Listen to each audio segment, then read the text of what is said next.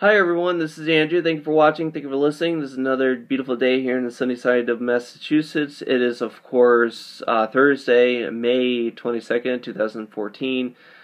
And anyways, what is going on in the world today? Well, really what I want to talk about and touch base on is uh, what's going on in professional sports. And I believe that professional sports will ultimately collapse and become completely completely obscure. They'll still exist, but I believe that they're going to sort of become like professional wrestling, where people know that that still exists, but they understand that it's all fake and trash. So instead of watching professional wrestling, people tend to watch professional sports such as NFL, NBA, NHL, and Major League Baseball, and leagues such as those. Now, the reason why I'm coming out here and saying this is really what I'm trying to explain is that professional sports is used as a way to distract people from what the real problems are. Similarly to the scene in the Hunger Games, the second installment of the Hunger Games, where Woody Harrelson's character tells Jennifer Lawrence's character, "Look, the trip that you had endured last time, it, it never ends. It will never end. You need to become a distraction for the people." And Jennifer Lawrence is sort of this big icon, sports star uh, in that movie like a sports star is in Major League Baseball or National Basketball Association, whatever. And now, and that's what that's the purpose of sports in general, is to get people riled up, and it's also to get people infighting with each other. You know, my team is better than your team, your team is better than my team, so on and so forth.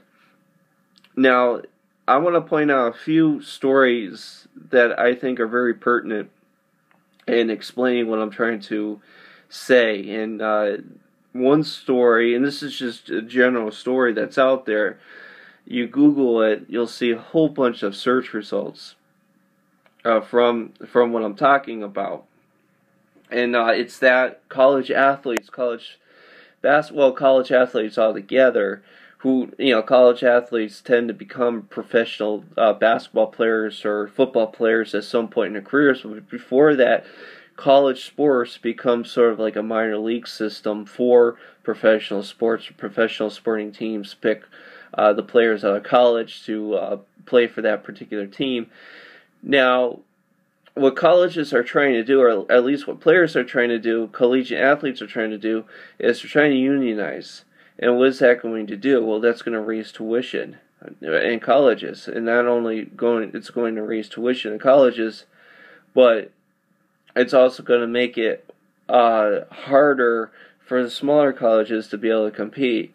And ultimately, you're only going to get a few uh, big colleges left uh, able to afford to continue to playing these games and having a basketball team or a football team or, or whatever and it's just going to be a, a totally fake thing. It, it's going to be even worse uh, when that happens than it is now. Of course, it's not happening right now because this is just sort of the beginning, but more and more college athletes are asking for uh, a way to get paid while playing professional sports in, in college basketball in a college basketball uniform. Now that's one story. Uh, another story is what's going on with the illegal drug issue in the NFL right now. The NFL uh, prescribes uh, illegal painkillers to football players, and football players, former football players, are suing uh, because of it. You know, and sometimes it just you just don't understand why because a lot of these guys know what they're getting into, and of course uh, they're probably more than likely going to be offered some stuff to help them deal with pain since they, they put their bodies so at so much risk from one week to the next. But the NFL is prescribing illegal uh, drugs to people. Uh, not only that, but uh, doctors are uh, are practicing illegal uh, are doing illegal things uh, to the players to sort of make them you know more competitive from one week to another without their body breaking down. So uh, and here's another story uh, that I want to get into as well as the NBA. Uh, the Cleveland Cavaliers recently secured the first round pick of the 2014 NBA draft. They did this the th- the three out of three out of the last four years that they did this, and this time they only had 2.5 percent chance of doing this, since the NBA goes through a, a pinball machine in order to uh, figure out who's going to draft first or draft one through 14 or whatever, or one through 18. So the reason why I bring those stories up is because I believe those are the three stories uh, are the biggest stories in professional sports that are occurring right now. Not just that, I think they're the three stories that people are reading into and are starting to realize or finally realizing that professional sports really has turned into professional wrestling.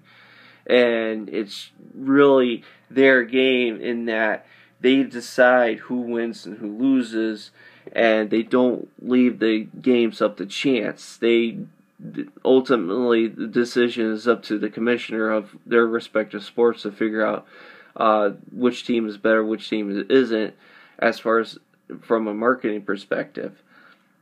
So that's really all I wanted to touch base on. The reason why I'm pointing this out is because this is really the last line of defense for the federal government at keeping people uh, dumbed down and asleep because without professional sports or some way to sort of distract the general audience from what is happening to them in in their bank account and in their freedoms or rights, uh, they're uh, they they won't be able to stop it once that ends.